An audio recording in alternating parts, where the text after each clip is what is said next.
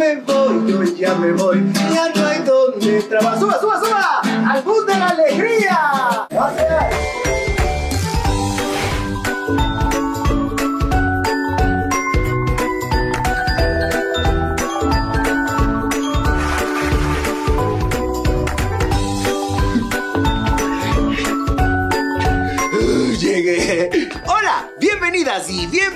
A una superclase con el profe Pancho. ¡Comenzamos!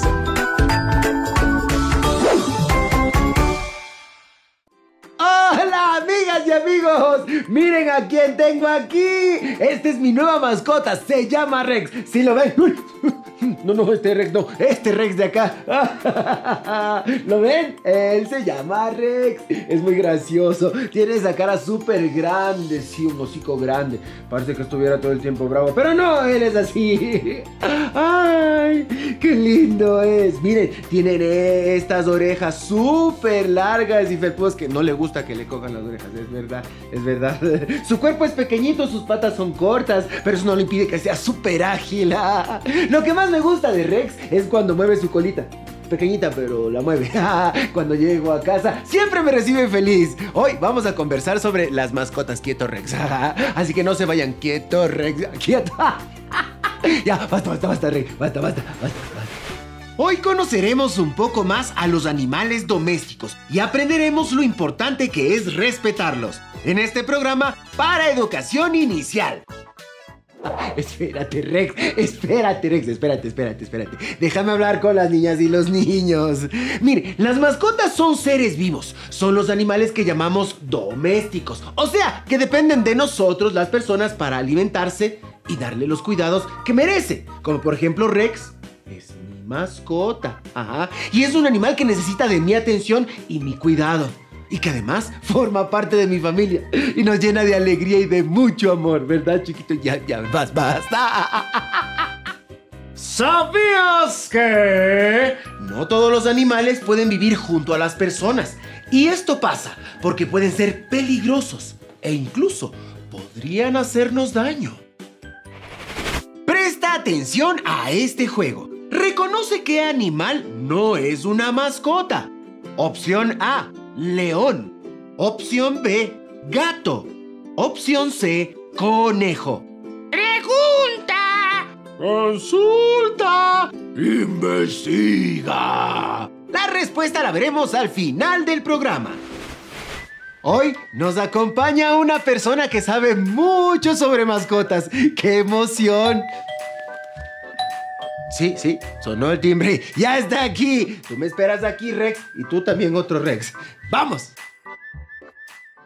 Hola. Hola, profe Pancho. Hola, Pancho. Oh, somos tocayos. Somos tocayos. Les presento, él es mi amigo, también se llama Pancho y es veterinario. Y hoy nos trajo a un gran amigo, ¿cómo se llama? Fister Fister, un hermoso perro. ¿Labrador? es un labrador. Uy, qué hermoso. Y él está aquí para despejarnos algunas dudas. Mira, la primera es, ¿qué podemos hacer nosotros para elegir un animal de compañía? ¿Qué tenemos que hacer nosotros? Ajá. Primero tenemos que evaluar o analizar con nuestros padres diferentes factores, como por ejemplo el tiempo. Tiempo para sacarlo a pasear. ¿Ya? Tiempo para darle de comer, tiempo para enseñarle a jugar, Wow. tiempo para enseñarle ciertos comandos básicos de entrenamiento, ¿sí? También necesitamos un espacio adecuado para ellos. Y ahí viene otro tema que es dinero. Para poder darles de comer, dar su comida, sí, para llevar al veterinario, cumplir el carnet de vacunación, desparasitación. Eso es verdad, no es que cojo, tengo un perro, le pongo en la terraza y ya está. No. Exactamente. ¿Qué más hay que hacer? Tenemos que cepillarles, tenemos que bañarles de vez en cuando. Claro. Una vez al mes recomendábamos un baño, corte de las uñas, limpiarle los dientes, limpiarle las orejitas. ¡Qué hermoso! Es una gran responsabilidad tener un animal de compañía. Ahora, ¿qué pasa si nosotros no los cuidamos bien? Empiezan a hacerse malcriados, empiezan a morder al dueño, Eh. empiezan a destruir cosas en casa. Tomar en cuenta que es una vida, una vida que ha querido estar con ustedes, que no sé por qué, tal vez la vida les eligió, ¿no es cierto? El perrito. Exactamente. Normalmente, como digo yo siempre, los perritos llegan a la vida de las personas con un propósito. Wow. con una misión. Entonces, Eso hay que entenderlo. ¿Eh? Grandes consejos de mi amigo Pancho para el profe Pancho en el programa Profe Pancho. Gracias, Pancho. Gracias, igual. Qué hermoso. Nosotros continuamos. Así como hay animales que pueden vivir cerca de las personas, hay otros que no. Y aunque algunos no puedan ser nuestras mascotas, también hay que respetarlos. Hay que respetarlos siempre. Porque son importantes para mantener la armonía en nuestro planeta. A ver, ¿qué les parece si les muestro algunos animales y ustedes me dicen si pueden ser mascotas? Eh, ¿Un mono? Bien, no, los monos no pueden ser mascotas. ¡Un caballo! Sí, muy bien. Un caballo sí puede ser mascota. Es un animal doméstico. Y para él, para él obviamente necesitamos un lugar adecuado, como un gran terreno. Inclusive nos puede servir para transportarnos o transportar alguna carga. Eh, otro animal que pueda ser doméstico. El tiranosaurio. No, no, qué miedo. ¿Se imaginan el tiranosaurio de mascota así enojado? No, no me coma, señor tiranosaurio.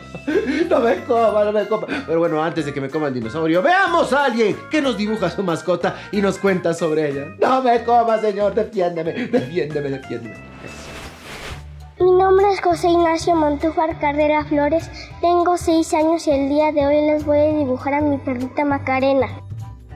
Había una vez un niño llamado José Ignacio que se fue a pasear con su perrita Macarena cuando se fueron un ratito al bosque.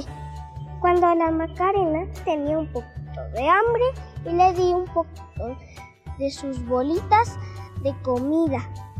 Y entonces ella se había lastimado en una roca que estaba por ahí en el, en el bosque y entonces yo la llevé al veterinario de perritos. Ahí le revisé un ratito cuando la Macarena otra vez tenía hambre. Yo le di algo de comida para comer. El sol estaba muy bonito y tomamos un poquito del sol cuando de pronto la Macarena vio que estaba empezando a llover. Ahí nos fuimos a nuestra casa, estaba un poquito al bosque. Ahí se hizo de noche. Y ahí le di a la Macarena otra vez su comidita. Luego la curropé en su camita y esperé hasta que se duerma. Luego yo me fui a dormir en mi camita. Y colorín colorado, este cuento de mi perrita Macarena se ha acabado. Esta ha sido la historia de mi perrita Macarena. ¡Chao! Recordemos nuestro juego. Reconoce qué animal no es una mascota. Opción A, león. Opción B, gato. Opción C, conejo. La respuesta correcta es la opción A, el león, que vive en la selva. Además, nos podría comer. ¡Ah!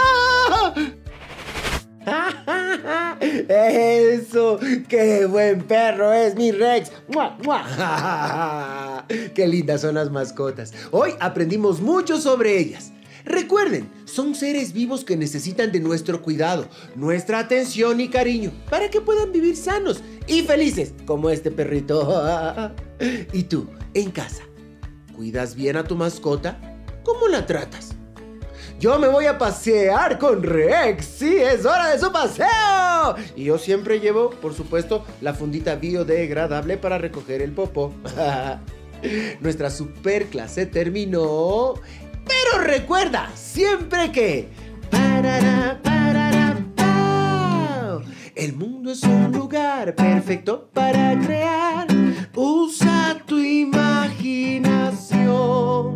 Nos vemos en la siguiente super clase. Adiós. Quieto. Déjame tocar, oye.